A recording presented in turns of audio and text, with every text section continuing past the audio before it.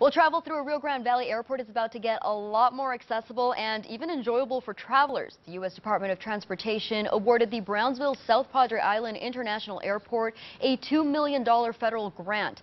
The money will be used for the planned construction of a new terminal at the airport, which will increase airport capacity.